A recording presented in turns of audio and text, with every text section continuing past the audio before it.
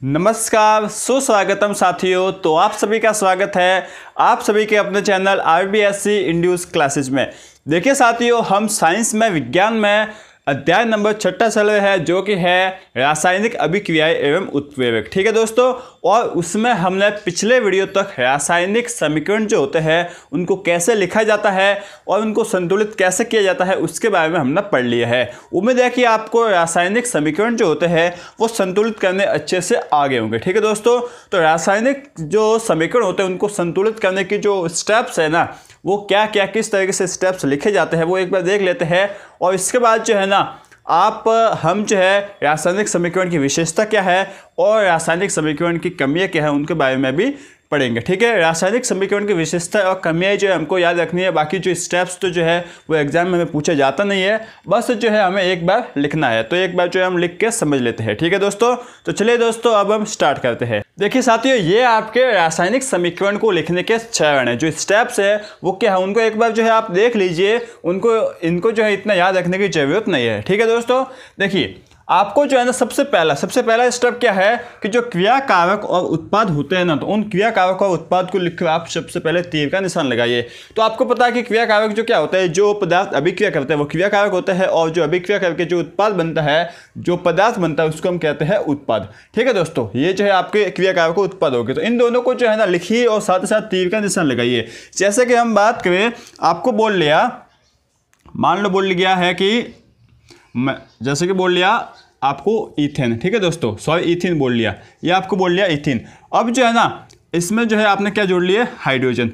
ठीक है? तो इसमें देखिए दोस्तों, इथिन और हाइड्रोजन जोड़ लिए, और इससे जो है ना आपको क्या मिला है? आपको इथेन मिला है, ठीक है? तो ये आपने लिख लिया। तो आपने क्या लिखा है कि क्रिया कारक और उत्पाद को लिखा सॉरी क्रिया कारक को लिखा और साथ ही साथ उत्पाद को लिखा। और इनको किन के निशान के साथ लिखा? तीर के निशान के साथ। तो ये तो जो हमें लिखना आते है, इसको जो है पढ़ने की ज़रूरत है नहीं, ये तो हमें पहले से आता लिखना। और साथ ही साथ दूसरा स्टेप देखिए, दूसरे स्टेप में क्या बोला कि यदि क्रिया कारक या उत्पाद एक से अधिक हो तो हम प्लस का निशान लगाते हैं। मतलब इसका कहने का मतलब ये है कि यदि यहाँ पे, जैसे कि यहाँ पे अभी कारक है या क्रिया कारक है, वो एक से अधिक है तो इनको जो है हम तीर मतलब प्लस के निशान से लिखेंगे कि एक प्लस ये दूसरा उत्पाद, प्लस तीसरा उत्पाद ऐसे। मतलब एक से अधिक उत्पाद होंगे तो उनको हम प्लस से लिखेंगे, और यदि क्रिया कारक भी एक से अधिक होंगे तो उनको हम प्लस से लिखेंगे। तो ये भी हमें आता ही है, ठीक है?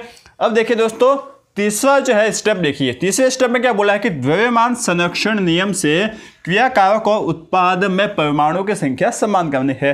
तो हम जो है वो जो समीकरण को संतुलित करते हैं, उनमें जो है क्या करते हैं? क्रिया कारक और उत्पाद के जो परमाणु है, उनकी संख्या को समान ही तो करते हैं ना? यही तो जो हम करते तो यही जो इसने बोलेगा ठीक है? अब ये द्वयमान संरक्षण का नियम क्या है? देखिए दोस्तों, आपने जो है वो नाइन्थ या फिर एट्थ में पढ़ा होगा कि द्वयमान संरक्षण का नियम क्या होता है कि किसी रासायनिक अभिक्रिया में द्वयमान को हम न तो उत्पन्न कर सकते हैं, और न ही नष्ट कर सकते हैं, ठीक है दोस्तों? तो यही बोला है कि किसी रासायनिक अभिक्रिया में देखिए किसी रासायनिक अभिक्रिया में द्रव्यमान न तो नष्ट होता है और न ही उत्पन्न होता है। तो यह है आपको द्रव्यमान संरक्षण का नियम। यह कभी जो है आपको पूछ सकता है तो इसको जो है आप याद रख लीजिए। बाकी सिंपल ही है कि रासायनिक अभिक्रिया में द्रव्यमान न तो उत्पन्न होगा और न ही नष्ट होगा।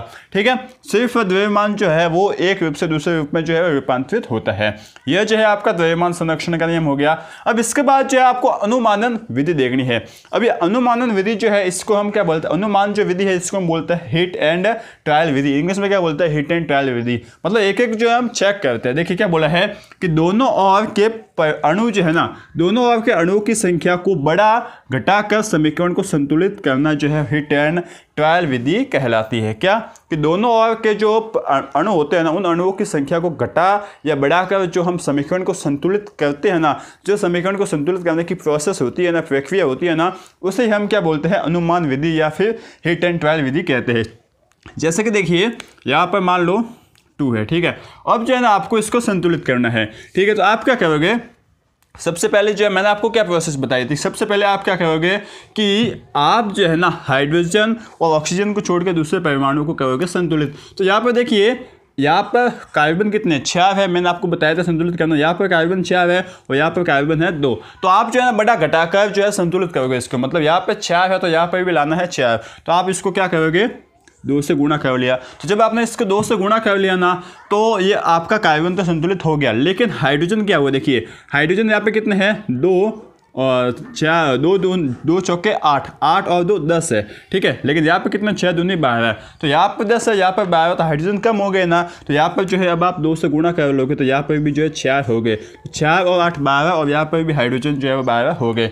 मतलब आपने जो है, बड़ा घटाकर इसको संतुलित किया है। तो यही जो है, आपकी हिट एंड ट्वेल्व विधि है। ठीक है? ज़्यादा कन्फ्यूज़ होने की ज़रूरत नहीं है। बस आपको ये याद रखना है। इसलिए मैंने इसको लिखवाया है, ताकि कई एग्ज़ाम में पूछ ले कि अनुमान विधि या हिट एंड ट्वेल्व विधि, इसको जो है आप नाम को याद रखिए हिट एंड ट्वेल्व विधि, ठीक है? ये क्या होती है? तो जो है यदि आपको पूछ ले तो आपको क्या लिखना है कि दोनों और किसी रासायनिक अभिक्रिया में दोनों और के अणुओं की संख्या को बढ़ाया या घटा, घटाकर समीकरण को संतुलित करना ही जो है वो हिट एंड ट्वेल्व विधि कहलाती है, ठीक है? इसके बाद देखिए, इसके बाद स्टेप क्या है? पांचवा स्टेप ये भी आपको आती है कि ऑक्सीजन और हाइड्रोजन को छोड़कर हम दूसरे अणुओं को संतुलित करते हैं। तो ये तो जो है हम पहले से सीख रखे हैं कि ऑक्सीजन और हाइड्रोजन को छोड़कर हम दूसरे अणुओं को संतुलित करेंगे।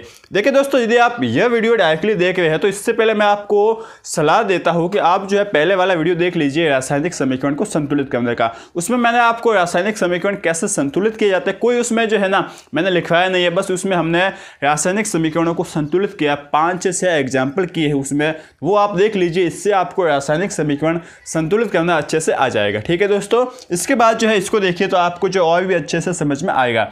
तो हम जो है, पाँचवें स्टेप में आपको बोला है कि हाइड्रोजन और ऑक्सीजन को आप छोड़कर दूसरे अणु को संतुलित करेंगे। ठीक है दोस्तों? यही हमें आता है।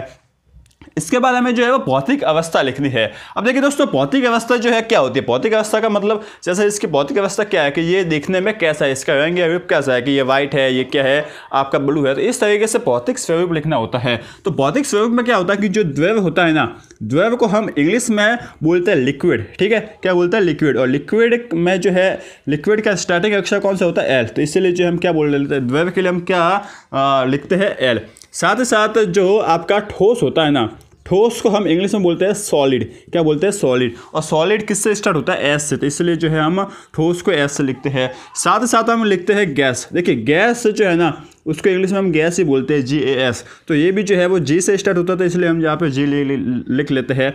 इसके बाद जो है आपका होता है जलीय विलियन। जलीय विलियन देखिए, जलीय विलियन। जलीय विलियन को जो है ना हम इंग्लिश में बोलते हैं एक्वस क्या बोलते हैं? एक्वस ठीक है? एक्वस ए क्यू से स्टार्ट होता है ए क्यू इसलिए जो है हम जलीय विलियन के लिए ए क्यू का उपयोग करते हैं। तो यही जो है इसमें लिखा हुआ है। द्वैव के लिए एल यूज़ करेंगे। लिक्विड ठोस के लिए सॉलिड एस यूज़ करेंगे गैस के लिए गैस जी यूज़ करेंगे और जलीय विलियन के लिए एक्वस के लिए ए क्यू यूज़ करेंगे। ठीक है दोस्तों? इनको जो है वो लिखा जाता है। इस, ये जो है इनके निशान लगाए जाते हैं। ये भी जो है आपको आता है अच्छे से। इसमें जो है आपको कोई समझाने की ज़रूरत नहीं है। ठीक है? मतलब आपको कोई रासायनिक जो है समीकरण दिया गया दिया गया, जैसे यही दिया गया है। अब इसका नीचे जो है ना, यहाँ पर ये लिखा हुआ है कि ये सॉलिड है, ये गैस है और ये भी जो है क्या है आपकी सॉलिड है, ये सब समझ लो। तो इससे जो आपको पता चल जाएगा कि ये जो है ना किसमें है? ठोस अवस्था में है। हाइड्रोजन जो है वो गैस अवस्था में है और जो आपकी एथन है ना सी टू एच सिक्स वो किसमें है? सॉलिड ठोस अवस्था में है। बस इससे ये जो है आपको पता चल जाएगा, ठीक है दोस्तों? ये भी जो है हमको समझ में आता है।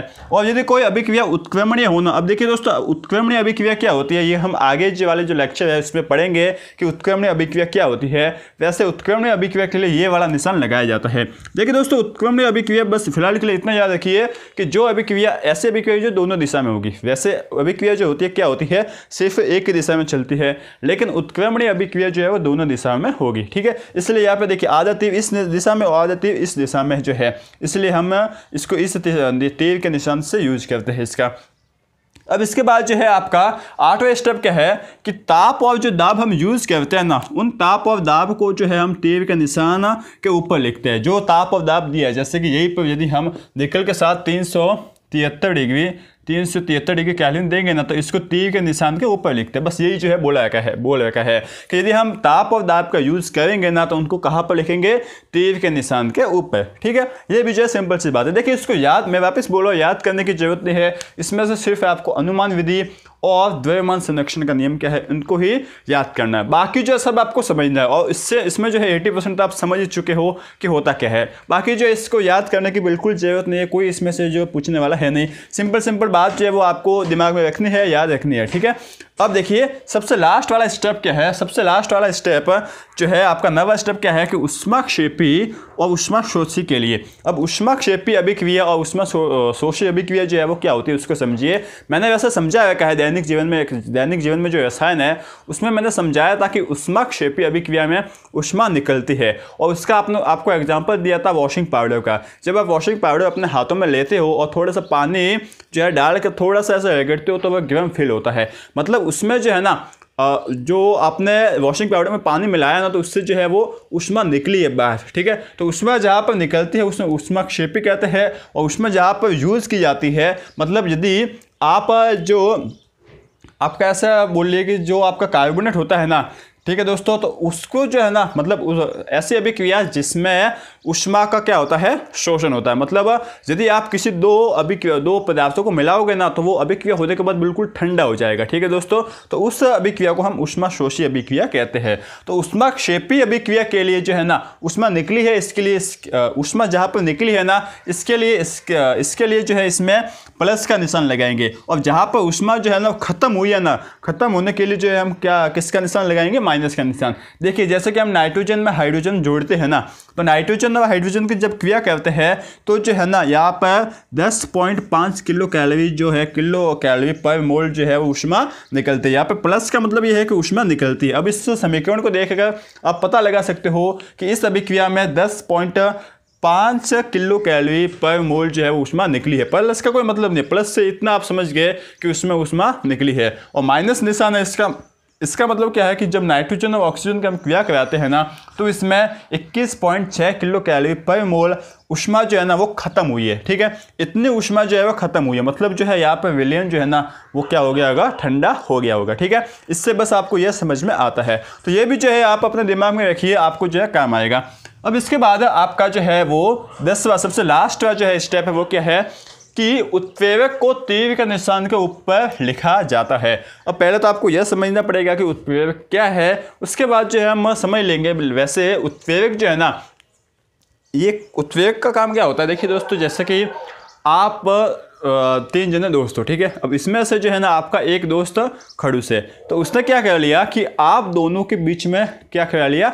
झगड़ा। अब झगड़ा किसने कराया? उससे तीसरे ने। तो जो तीसरा है ना उसे हम क्या कहते हैं? उत्प्रेरक। मतलब उत्प्रेरक वो होता है जो किसी अभिक्रिया को जो है ना वो कराता है या कम करता है? या तो अभिक्रिया को तेज करेगा या अभिक्रिया को कम करेगा, लेकिन खुद को जो है कोई नुकसान पहुँचने नहीं देगा। तो उसे जो है हम उत्प्रेरक कहते हैं। ऐसे आपके दोस्त खूब होंगे तो उन्हें हम क्या कहेंगे? उत्प्रेरक। तो उत्प्रेरक को जो है हम तीर के निशान के ऊपर लिखते हैं और देखिए किस तरीके से लिखते हैं। जैसे कि हम किसका किसका यूज़ कर लिया कि ये आपका कौन सा है? आपका इथिन ठीक है? ये आपका इथिन है प्लस हाइड्रोजन इसको जो है हमने उत्प्रेरण करने के लिए, इसको अभिक्रिया को तेज करने के लिए हमने किसका उपयोग किया? एन आई एन आई मतलब निकल का। निकल इसमें यूज़ करने से ये अभिक्रिया जो है फटाफट हो जाती है, ठीक है दोस्तों? तो ये जो है रासायनिक समीकरण को लिखने के स्टेप्स इसमें से कुछ एक बात आपको याद रखनी है और बहुत सी बात जो है आपको समझनी है, ठीक है दोस्तों? इसके बाद अब हम पढ़ लेते हैं रासायनिक समीकरण की विशेषताएँ और इसकी कमियाँ। तो देखिए, अब रासायनिक समीकरण की विशेषता है और रासायनिक समीकरण की सीमा क्या उनके बारे में पढ़ते हैं। लेकिन इससे पहले जो है, हम एक समीकरण जो है, इस समीकरण को संतुलित कर लेते हैं। देखिए, आपको संतुलित जो समीकरण जो है, वो क्या दे रखा है? इस समीकरण से आपको क्या पता चलता है कि यह समीकरण, इस समीकरण में जो है, वो कौन सी अभिक्रिया हो रही है? उत्क्रमणीय। कैसे पता चला कि यहाँ पर जो है तीर के निशान, एक इस साइड है और एक इस साइड है। मतलब यह उत्क्रमणीय अभिक्रिया है। पहले हम चेक कर लेते हैं कि यह अभिक्रिया संतुलित है या असंतुलित। तो देखिए दोस्तों, यहाँ पर नाइट नाइट्रोजन जो है, देखिए, हाइड्रोजन और ऑक्सीजन को छोड़कर दूसरे सभी परमाणुओं को संतुलित किया जाता है। तो हम हाइड्रोजन को हमने छोड़ लिया तो हम अब लेते हैं नाइट्रोजन को। तो यहाँ पर नाइट्रोजन दो है और यहाँ पर नाइट्रोजन कितने हैं? एक। मतलब यहाँ पर जो है, नाइट्रोजन को हमें संतुलित करना पड़ेगा। तो जो है, नाइट्रोजन को संतुलित करने के लिए हम जो है, या इसको दो से गुणा कर लेंगे। तो यह जो है, हमने इसको दो से गुणा कर लिया। तो अब देखिए, यहाँ पर नाइट्रोजन दो हो गए, यहाँ पर भी नाइट्रोजन दो है, ठीक है। अब हम लेते हैं हाइड्रोजन को। हाइड्रोजन को लिया तो यहाँ पर हाइड्रोजन कितने हैं? तीन इंटू दो छः यहाँ पर कितना हाइड्रोजन? दो इंटू तीन छः मतलब यहाँ पर भी हाइड्रोजन छः और यहाँ पर भी हाइड्रोजन छः मतलब ये अभिक्रिया हो गई संतुलित। ठीक है दोस्तों, ये तो हमने कह ली संतुलित। इससे जो हमें कोई मतलब नहीं है। हमें यह देखना है कि यह जो हमें अभिक्रिया दे रखी है, इससे जो है हमें क्या क्या जानकारी मिलती है। ठीक है, अब जो है ना, मैं अब पॉइंट पर आता हूँ कि आपको यदि कोई पूछ लेना कि रासायनिक समीकरण की विशेषता क्या है तो आपको कोई भी एक समीकरण दिमाग में लाना है और आपको सोचना है कि रासायनिक समीकरण से हमें किस किस की जानकारी मिलती है। तो रासायनिक समीकरण से हमें सबसे पहले क्या जानकारी मिली कि जो पदार्थ है ना, उनकी भौतिक अवस्थाओं का पता चलता है। जैसे कि नाइट्रोजन जो है वो गैसीय अवस्था में है, हाइड्रोजन भी गैसीय अवस्था में है और जो अमोनिया है वो भी गैसीय अवस्था में है। इसका मतलब हमें जो पदार्थ है, उनकी भौतिक अवस्था क्या है, उन भौतिक अवस्थाओं की जानकारी मिलती है। तो देखिए दोस्तों, रासायनिक समीकरण की विशेषताओं की हम बात करें तो क्रिया कारक क्रिया कारक मतलब अभिकारक, और जो उत्पाद है उनके बारे में संपूर्ण जानकारी। इस रासायनिक समीकरण से उनके बारे में हमें संपूर्ण जानकारी मिल जाएगी, ठीक है? दूसरी बात देखिए देखिए, पदार्थों की भौतिक अवस्था की जानकारी मिलती है। भौतिक अवस्था समझ गए ना? जैसे कि नाइट्रोजन गैस अवस्था में है, हाइड्रोजन गैस अवस्था में है, और अमोनिया, वो भी गैस अवस्था में मतलब इनकी भौतिक अवस्था की जानकारी मिल गई। साथ ही साथ क्या जानकारी मिल गई? देखिए, रासायनिक समीकरण के लिए, रासायनिक अभिक्रिया के लिए जो आवश्यक परिस्थिति है, जैसे कि आपके ताप हो गया, दाब हो गया, उत्प्रेरक हो गया, उनकी जो है जानकारी मिलती है। जैसे कि यहाँ पर देखिए, इस अभिक्रिया को जो है संतो अभिक्रिया को कराने के लिए जो आवश्यक परिस्थिति क्या थी? ताप कितना था? सात सौ तिहत्तर कैलविन, और जो है दाब कितना था? दो 200 एटीएम। मतलब इस अभिक्रिया को कराने के लिए जो आवश्यक परिस्थिति है, उसकी भी जानकारी मिलती है। ठीक है? साथ ही साथ देखिए समीकरण से अभिक्रिया उष्माक्षेपी या उष्माशोषी है यह स्पष्ट हो जाता है। मतलब कोई समीकरण दे रखा है। अब यदि यहाँ पर जो है ना, इस तरीके से लिखा होता कि मान लो प्लस, क्या हो गया? माइनस, यहाँ पे प्लस लिख लो, plus ten point three kilo calorie per mole, ठीक है? अब इससे जो आपको यह जानकारी हो जाती कि यह अभिक्रिया जो है वो उष्मा क्षेपीय, क्योंकि इसमें प्लस का मतलब अभी उष्मा जो है वो निकल रही है। तो ये जो है आपको जानकारी मिल जाती है इस रासायनिक समीकरण से। तो यही जो है इसमें बोल रखा है। साथ ही साथ लास्ट स्टेप क्या है कि समीकरण जो है ना वो अभिक्रिया की उत्क्रमण की भी जानकारी देती है। मतलब जो समीकरण होता है ना, रासायनिक समीकरण, वो कोई अभिक्रिया उत्क्रमणीय है या उत्क्रमणीय नहीं है, इसकी भी जानकारी देता है। कैसे दी? देखिए दोस्तों, आपको देखते ही पता चल गया कि यह समीकरण जो है वो क्या है? अभिक्रिया जो है वो उत्क्रमणीय अभिक्रिया है। ठीक है दोस्तों तो आपको विशेषता बोल दी जाए रासायनिक समीकरण की तो जो है आप एक समीकरण दिमाग में रखिए।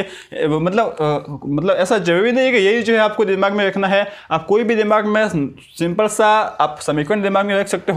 या फिर समीकरण दिमाग में न रखो तो भी जो आप सोच सकते हो कि रासायनिक समीकरण से हमें पदार्थों की भौतिक अवस्था में पता चलती है कोई क्रियाकारक उत्पाद है उनकी पूरी संपूर्ण जानकारी मिलती है, कोई अभिक्रिया उत्क्रमण है या अनुत्क्रमण, इसकी भी जानकारी मिलती है, रासायनिक अभिक्रिया के लिए आवश्यक परिस्थिति जैसे कि ताप, दाब, उत्प्रेरक, इसकी भी जानकारी मिलती है, ये सभी जो हमें जानकारी मिलती है। देखिए दोस्तों, सभी हो गए, अब समीकरण उष्मा क्षेपी, उष्मा शोपी की भी शोषी जो है, इसकी भी जानकारी मिलती है, ठीक है? तो यह जो है इस रासायनिक समीकरण की विशेषता है क्या क्या हमें विशेषता बोल दी जाए तो इसका मतलब रासायनिक समीकरण से हमें क्या क्या जानकारी मिलती है, बस वही लिखना है, ठीक है? विशेषता हमें सिर्फ़ यही लिखना है। इससे जो है आपको ये याद करने में बहुत ही आसानी हो जाएगी। एक बार लिख लीजिए और एक बार जो है आप आँख बंद करके या इससे कॉपी को बंद करके जो है वापस अपने आप में दोहराइए कि क्या क्या हमें जानकारी मिलती है। आपको जो है यही पर याद हो जाएगा, ठीक है? अब हम बात करते हैं इस रासायनिक समीकरण की सीमाओं की, कि जो रासायनिक समीकरण है, उनकी सीमाएँ जो है वो क्या है? देखिए, सीमाएँ जहाँ पर बोल दिया जाए ना, इसका मतलब होता है कमियाँ, कि इस रासायनिक समीकरण की कमियाँ जो है वो क्या है? कमियाँ को हम जो है विज्ञान की भाषा में बोलते हैं कि इसकी सीमा जो है वो क्या थी, ठीक है? तो सीमा जो है ना, क्या थी? पहली सीमाएँ थी। देखिए, पहली सीमा यह थी कि यह अभिक्रिया की जो है वो पूर्णता जानकारी नहीं देती था। मतलब अभिक्रिया में क्या क्या चाहिए, क्या क्या नहीं चाहिए, उसकी जो है पूर्णता जानकारी नहीं देता। जानकारी देता तो था, लेकिन एकदम एग्जैक्ट जो है जानकारी नहीं मिलती थी हमें अभिक्रिया से। यह रासायनिक समीकरण की एक कमी थी। साथ ही साथ दूसरी कमी क्या थी कि यह क्रिया कारक व उत्पाद की सांद्रता। देखिए, सांद्रता की जानकारी नहीं देता था। अब देखिए दोस्तों, आपने अभी जैसे कि पिछले लेक्चर में हमने क्या किया? रासायनिक समीकरण को संतुलित किया, यहाँ पर इतना पढ़ा। तो कई पर भी जो है ना, आपने सांद्रता की बात नहीं सुनी। अब ये बात नहीं सुनी, इसका मतलब क्या है कि सांद्रता इसमें कहीं आता ही नहीं है? मतलब यह सांद्रता की जो है वो जानकारी नहीं देता है। वैसे सांद्रता जो है वो होता क्या है कि जैसे कि आप ऐसा समझ लीजिए कि जैसे कि यहाँ पर हमने लिया है नाइट्रोजन। तो जब वो नाइट्रोजन कितना लिया है, इसकी जानकारी हमें यह नहीं देता है, ठीक है? जैसे कि नाइट्रोजन हमने कितना लिया है या फिर हमने हाइड्रोजन कितना लिया है, इन सब की जानकारी यह हमें रासायनिक समीकरण नहीं देता है। क्रिया कारक व उत्पाद की सांद्रता के बारे में कुछ स्पष्ट नहीं होता है। बस इसकी दो ही कमी थी। क्या कमी? पहली कमी, पूर्णतः जानकारी नहीं मिलती है और सांद्रता के बारे में कुछ स्पष्ट नहीं होता है। तो यह इसकी दो कमी और यह इसकी विशेषता होगी। तो यह है हमारा पूरा रासायनिक समीकरण। कैसे लिखा जाता है? कैसे संतुलित किया जाता है? और इसको लिखने के स्टेप्स क्या क्या है? द्रव्यमान संरक्षण का नियम क्या है? आपके hit and hit and trial विधि जो है वो क्या है? इसकी सीमा है और रासायनिक समीकरण की विशेषता है। इन सब के बारे, इन सब के बारे में जो है हम आज, हमने जो है वो आज पढ़ा है। ठीक है दोस्तों? तो उम्मीद है कि आपको यह लेक्चर समझ में आ गया होगा। इसके बाद जो है हम, जो रासायनिक अभिक्रिया है वो कौन कौन सी होती है वो हम पढ़ेंगे। और साथ ही साथ, टेंथ क्लास के बच्चों के सबसे मतलब सबसे डाउटफुल जो है वो एक मतलब टेंशन वाली बात यह है कि जो विस्थापन अभिक्रिया होती है ना, उसमें बहुत से लोग जो है, बहुत से स्टूडेंट कंफ्यूज रहते हैं। तो उसको जो है मैं इतने शॉर्टली विधि से आपको समझाऊँगा, जिससे जो है आपको समझ में आ जाएगा। ठीक है दोस्तों? Thank you